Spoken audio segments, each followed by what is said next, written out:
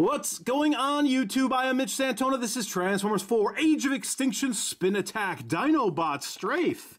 About that for a name? This guy looks fun.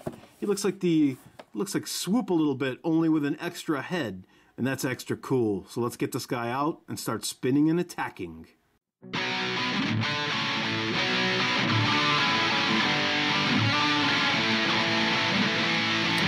they say two heads are better than one.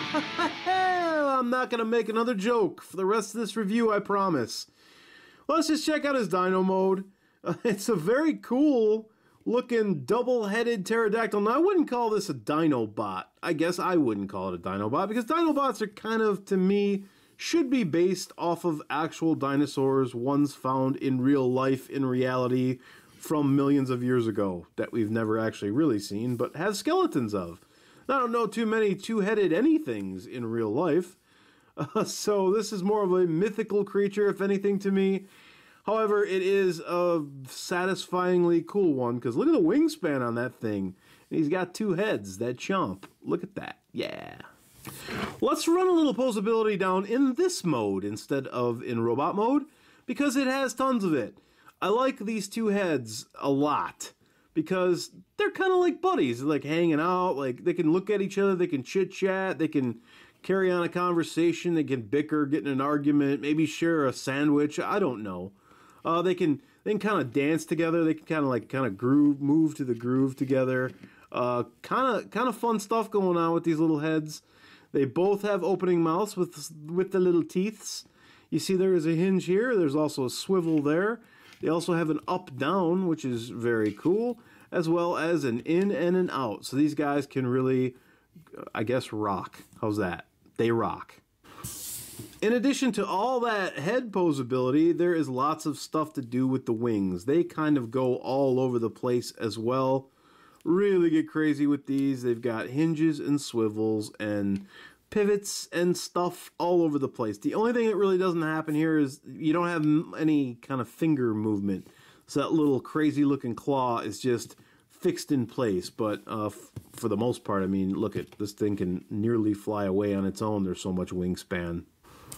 Looking at the back of this guy, he does have uh, two tails that move in tandem and the little feet, they do move as well. So when he takes flight, they kind of hang behind him and it looks more natural for a two-headed flying robot.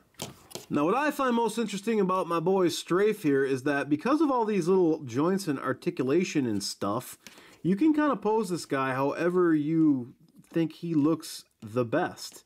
And it shows on the box a certain way. I kind of like this look for him whereas that makes his shoulders or like some pauldrons or whatnot. And then I just kind of tuck these things back here, kind of do this like that. Very easily just kind of flip all this stuff down. Let's see if we can get this out of the way. There we are. And now his feet are revealed like that. Click that. Very difficult click right there. But uh, yeah, this is kind of neat. You can fold this thing back up or you can leave it down however you like. You can make your strafe just looking how you like them. Alright, so our boy does have a gimmick, and that gimmick is Spin Attack.